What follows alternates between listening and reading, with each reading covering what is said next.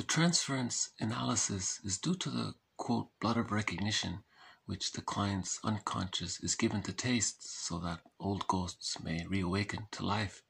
Those who know ghosts tell us that they longed to be released from their ghost life and led to rest as ancestors.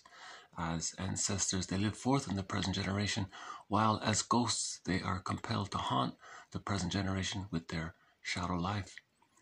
Transference is pathological insofar as the unconscious is a crowd of ghosts and this is the beginning of the transference neurosis in analysis. Ghosts of the unconscious, imprisoned by defense, but haunting the client in the dark of his defenses and symptoms, are allowed to taste blood, are let loose. In the daylight of analysis, the ghosts of the unconscious are laid and led to rest as ancestors, whose power is taken over and transformed into the newer intensity of present life of the secondary process and new object relationships.